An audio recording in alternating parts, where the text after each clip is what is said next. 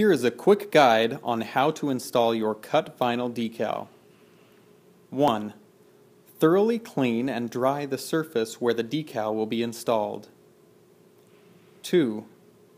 Apply a horizontal strip of masking tape to the top of the graphic with the top half of the tape on the intended surface, creating a hinge. 3. Hold the bottom edge of the hinged graphic away from the intended surface and remove the back liner, revealing the sticky backing of your vinyl. Be careful not to allow the exposed adhesive to touch the surface. 4.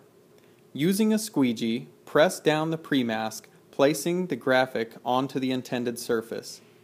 If creases develop, carefully lift the graphic and place it again. 5.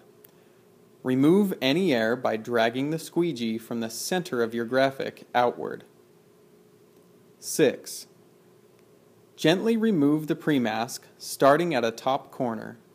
If any vinyl begins to come off the wall, use your squeegee to firmly adhere it back to the wall and continue peeling away the pre-mask. 7. Laying the liner over the graphic with the shiny side facing you Apply hard pressure with the squeegee, removing any remaining air bubbles.